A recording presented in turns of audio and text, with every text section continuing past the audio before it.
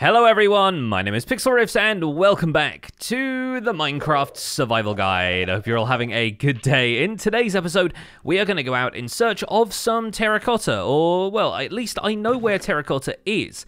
It's just that it's a very, very long way away, and we have a desert that I can go to with a nearby Badlands, which is a little bit closer, but is honestly pretty small. What I want is an easy route out to the mesa that we found, the really big eroded Badlands biome, and a few other plateau biomes around there that are going to provide terracotta for the foreseeable future. It's going to be our main source of terracotta throughout the series, and as we now know, I need a bit more terracotta for decoration around things like our copper, aging factory, and all sorts of other projects besides. So one of the things I need to do is set up a permanent route out to a mesa biome. It's actually about 8,000 blocks west and 6,000 blocks south, or thereabouts, so it's really not a short distance to travel, which of course we would want to do through the nether. But even in the nether, that sort of distance provides a bit of a challenge. 8,000 blocks in the overworld is still a thousand blocks in the nether. Quite some distance to travel. And of course, you'd expect that I could probably do that with Elytra. But in some cases, Elytra travel through the nether can be a tricky affair. The nether terrain gets a little bit dense, especially around Crimson Forests and similar biomes like this,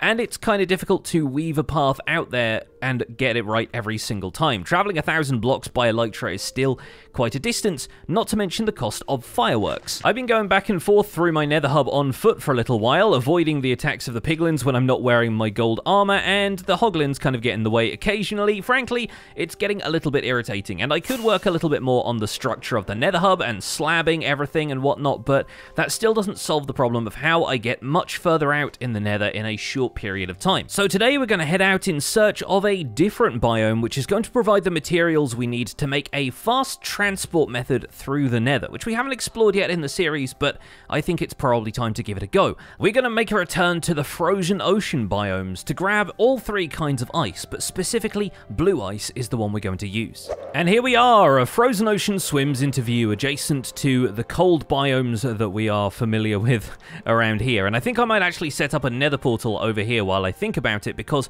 we are going to need to return to locations like this for stuff that we want to cover in future. But right here by this village is a perfect illustration of what I'm after. A lot of the time in mountain biomes, in frozen peaks, you will see this block here, which is packed ice. What we're after is this block here, which is blue ice. The difference is subtle, but it is there. Naturally, in order to obtain these blocks at all, we will need to use Silk Touch, so I'm going to grab a couple of blocks of this, make sure that that is blue ice. Yep, certainly is, okay. And while we're here, we might as well discuss the difference each of the different ice blocks has a little bit more slipperiness to it. Basically, if you're traveling on regular ice, then you'll get a little bit of extra momentum, but you'll slow down pretty fast. If you are traveling on blue ice, on the other hand, you have a lot of extra momentum added to your movement, or at least the friction of the block does not take away any momentum. But packed ice is sort of in between the two, and is the one that we can probably find in larger quantities. However, if we want maximum speed for our fast travel method through the nether,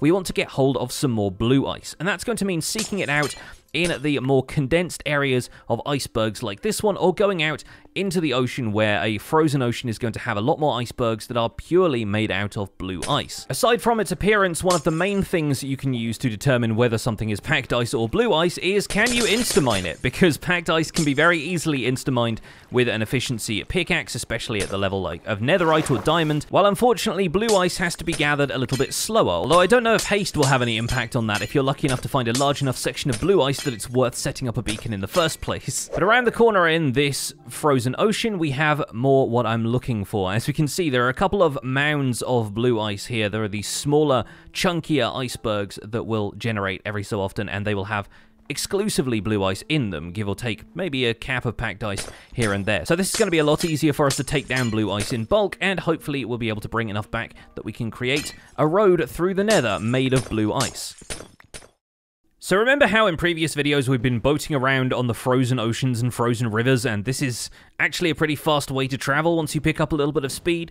Well, it turns out that the ice here is only the beginning of that, and if you look at the packed ice or blue ice blocks, the slipperiness level that they provide is actually enough to get your boat traveling at enormously high speeds. Moreover, the packed ice and blue ice have the advantage that they won't melt in any light level, meaning that even if there are fires or lights that we want to set up in the nether, we don't have to worry about the ice melting in the nether and evaporating when it turns into water. So blue ice and packed ice really become ideal blocks to use to lay out roads in the nether that we can use for faster transport. And I'm going to break down a couple of the ender chests that I brought with me just so I can set up a nether portal here at this ice village, and from here I think we might be able to make a tunnel back towards my spawn point in the nether. But just in case this ends up going south, I'm going to put all of the packed ice and stuff into the ender chest because this block is pretty valuable, and the only other place you can get it is from the Wandering Trader, which is a much less reliable source. He'll only sell you about six blocks at a time. It's really not all that worth it. You'll also occasionally find houses in these villages which are made partly of blue ice, so if you feel like raiding these and taking their stuff and taking down the house along with it, then you could always give that option a try. Alright, let's head on through to the nether and see where we end up. And we're in a Soul Sand Valley, having a screenshot of the coordinates helps, of course, we're really not that far away. at exactly 666 on the x-axis. How appropriate. I think from here, for our own safety, one of the things we're going to do is relocate this portal up into the ceiling of the nether, because that's going to allow us to more or less tunnel directly towards our location without having to worry too much about making tunnels, building bridges, and all of the dangerous stuff that comes with navigating the nether. So I think the first step is going to be to move this portal up to about Y110-ish, and that should give us enough headroom and enough floor below our feet that we can create a tunnel up there without any other concerns. And so having pillared up here into the ceiling of the nether and boxed ourselves in, we're at Y110, now it's just a matter of traveling back towards our spawn location and finding a way down. Although on the way, we're going to be digging out a 3x3 tunnel like this, and that, for the sake of symmetry, might have me rebuilding the nether portal so it matches the dimensions of the tunnel. So that portal links up perfectly fine, and in the floor here is where we're going to start laying down a path of blue ice, alternating every other block. So we're going to place a piece here, and then here, and then here, and then here. We'll leave a little bit of a gap in front of the portal, and we're going to be placing this on alternate blocks. On top of each of these blue ice blocks, we are going to be placing some wooden buttons as well, because we want to make sure these blocks aren't spawnable. Otherwise, as solid blocks, they could very easily spawn zombie pigmen or something up here that are going to disrupt our boat road here through the nether. And naturally, while the rest of the netherrack blocks around here are going to be just as spawnable, we'll come back through here and spawn-proof these, either with buttons or slabs or whatever we feel like using. And with a decent chunk of this ice road already built, I can show you how this works. So we're going to place a boat on top of there, and as long as we're facing in the right direction, we can just hold the forward button and we start building up a whole lot of speed. We can move down this tunnel incredibly quickly. Not only that, but if we run into the walls at either side, we're still kind of... Oh, the boat's just gone through the portal.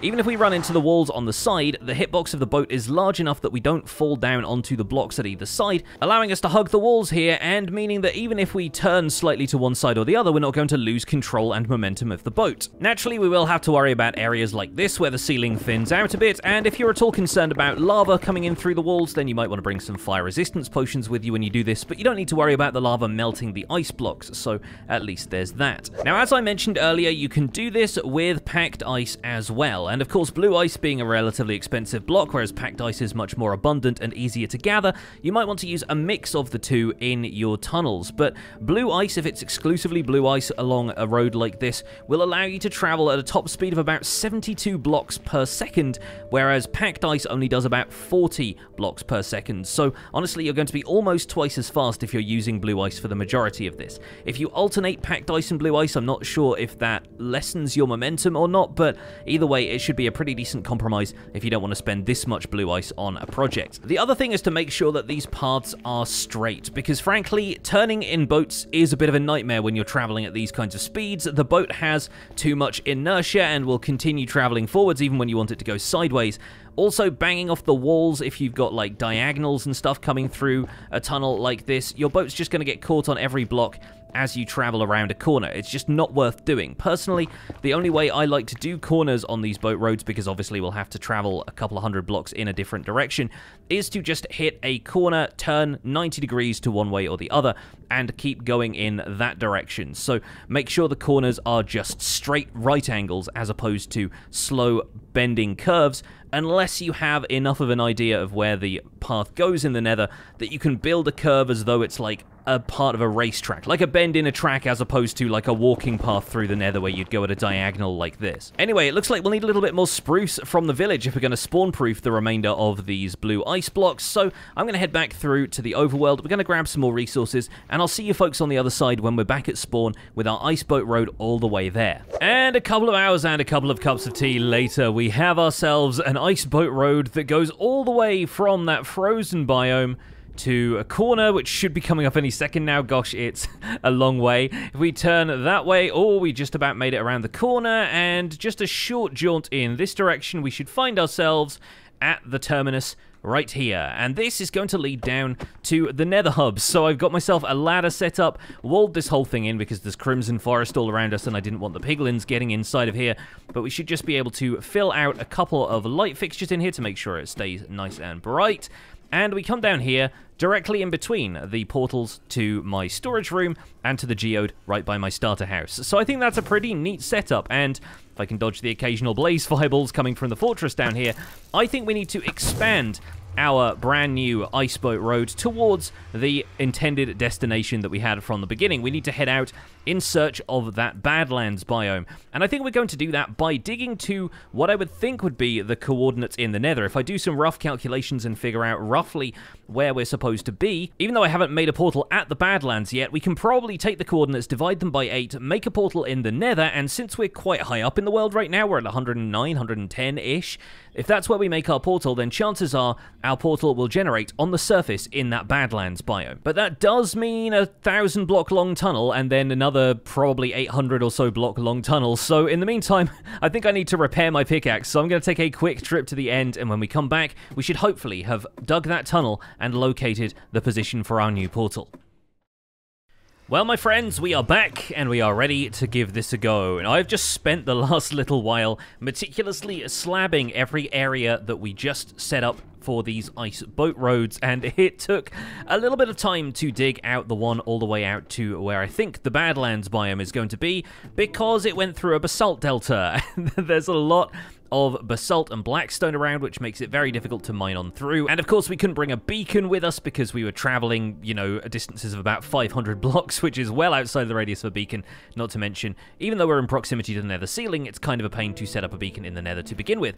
And so up here at the top of the ladder, we have two separate ice roads. This one with the warped wood slabs takes us out to the cold biome, and this one with the crimson wood slabs takes us out to the hot biome. I figured color code these probably to make them a little bit more recognizable. And now we are going to make the trip all the way out to the Badlands biome, and I'm going to enable the coordinates HUD one more time, if we just do a quick trigger CH toggle, there we go, so you can see how fast the coordinates move once we pick up a bit of speed. This is not all blue ice, some of this is packed ice as we get a little bit further in, but it's blue ice on either end, and here we go.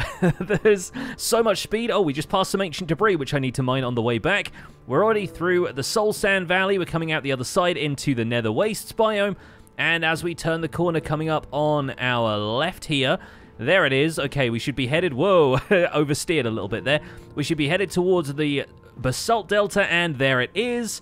As the fog changes color is pretty much the only way you can tell which biome you're in. We're on packed ice here for a second, and then we should hit the blue ice again once we come out the other side of the Basalt Delta, and we are away.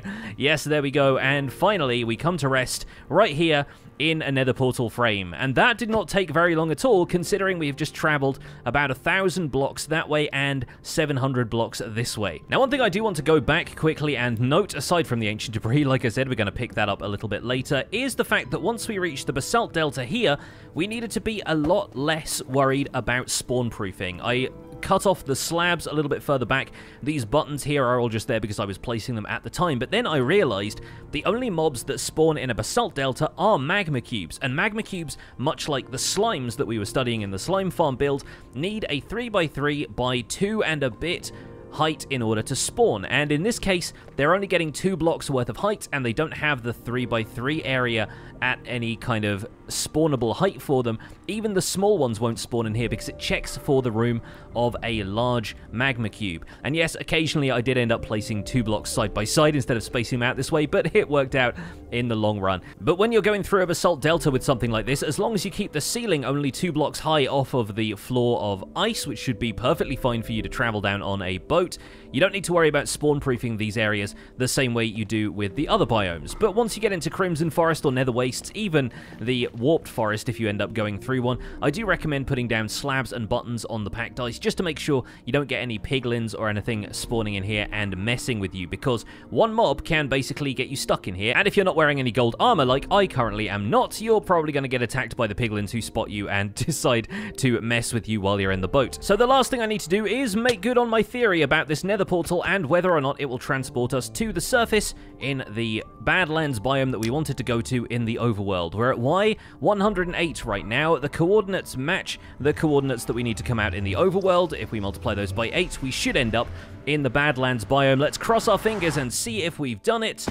And we have! Look at that! Right on the edge, it turns out, of the eroded Badlands, right next to this little inland desert, and we got the Subspace Bubble Challenge for traveling 7 kilometers in the Nether. There we go, folks. We got that advancement in style. Very happy that we now have a means to get out here nice and easily, and I think we're probably going to use this opportunity to gather a bit of terracotta while we're here. Although it is a little slow gathering terracotta without a beacon, so I think I'll probably come back with a haste beacon and we can do a little bit of strip mining out here in the mesa to get some of that regular old raw terracotta that we can dye to turn it into all of the terracotta variants. We have one last thing to attend to on our way back from the Badlands, and if I get out at just the right time, we should end up more or less where we need to be. And up, there we go, right next to the ancient debris, because yes, veins of ancient debris can generate up near the roof of the nether. In fact, a single vein of ancient debris can be found anywhere above lava lakes in basically every chunk. There's like a bonus vein, more or less. So this is one of those, and we're going to bring that home with us, because I think this might even be enough ancient debris to get us another ingot of netherite. Hey, it sure is. We have two netherite scrap right here, and two ancient debris. So let me go and grab a couple more gold ingots from here, and we should be able to cook this up and get ourselves another netherite ingot. And I think we can all see which one of these tools is due for an upgrade to netherite. Yep, it is netherite shovel time, folks, and now we can finally give this one a name, and it will, of course, be the Queen of Spades. and shout out to everybody in the comments who saw that one coming. All right, folks, that is where we're going to leave it for this episode of the Minecraft Survival Guide. I have had a blast in this episode. We finally managed to get some more permanent ice boat roads out to the further biomes in the world, and we got an advancement out of it. Thank you so much for watching this episode of the Minecraft Survival Guide. My name has been Pixlriffs. Don't forget to leave a like on this video if you enjoyed it, subscribe if you want to see more, and I'll see you folks soon. Take care. Bye for now.